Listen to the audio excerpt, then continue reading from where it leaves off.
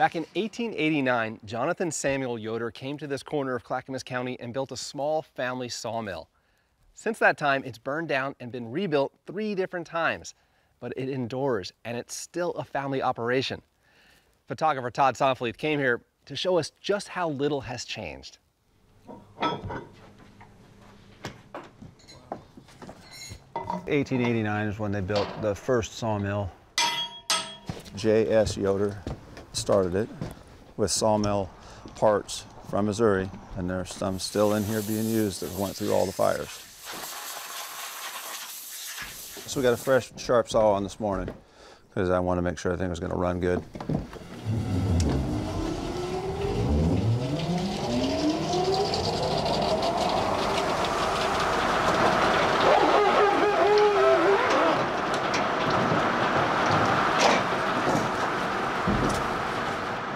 My name's David Yoder, and Yoder Mill Incorporated. The address is Canby, Oregon, but it's out in the country, the community named Yoder. Uh, you can actually find it on a map, kind of.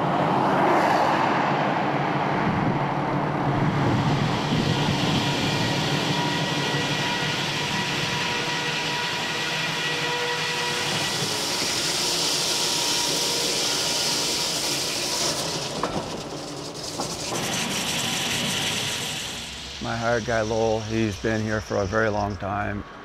I think he was like 19 years old when he started here. We buy logs and saw and sell lumber to the general public. The rough sawing, it's rounded and it's a little bit rougher cut than the bandsaw. That's why most of the mills are a bandsaw because it's a lot smoother cut.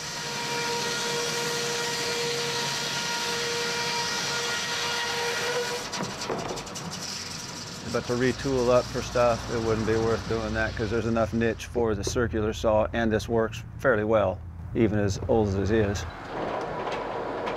The customer we're working for us, he had logs hauled in and he wants to have them sawed to his lumber list, like two by sixes. They want to be planed. The two by 12s so that's rough. So we're processing those logs for him.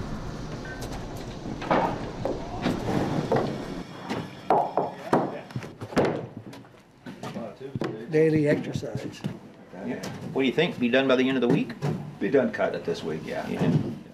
There's only a few mills around, and this is one of them that I know that still cut rough cut.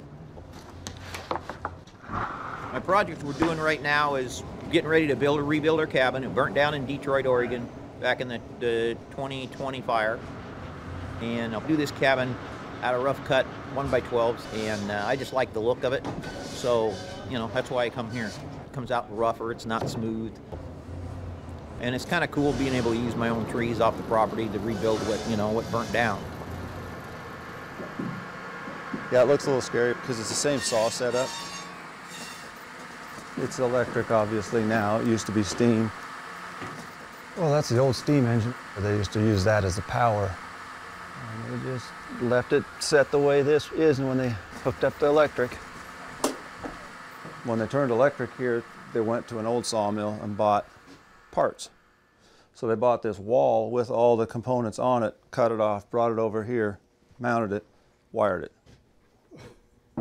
Well, you did what you had to do. So that's what we run the saw with even up to today.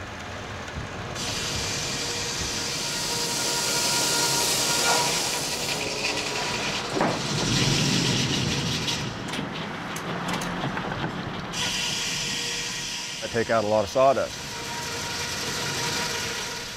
So there's a little danger with all the sawdust and It's burnt three times and put a mill back on the same property.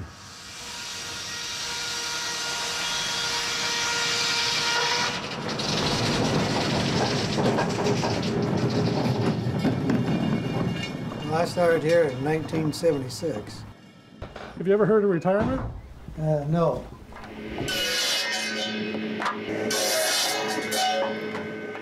Lowell's role here is basically anything and everything.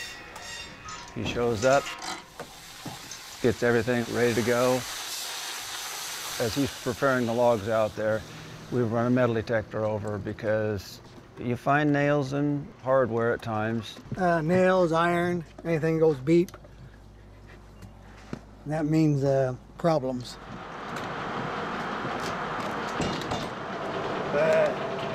Just hit nails. Thought we had them all out, didn't beep with the detector, so it's not always 100%. This is the true metal detector because it'll find them. If they're in there, you're gonna hit them with this and upset yourself.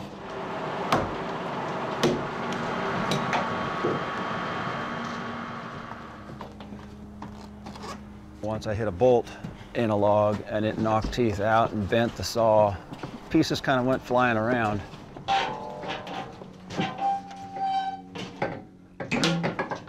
It's replaceable teeth.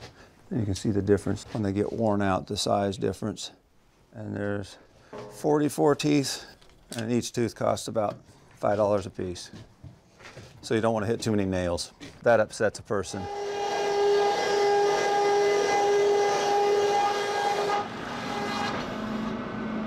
It's always no fun making the small stuff because it just takes longer. The bigger the piece, generally, the get it out of here quicker, but the small stuff, it's just all this cutting. It's down to just stacking this job out and counting it, making a bill, and it's done. Which, that's always the best part of the job.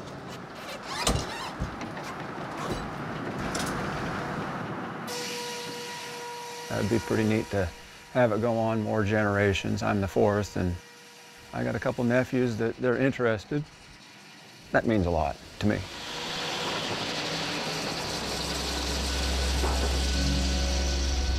You can now find many Oregon Field Guide stories and episodes online.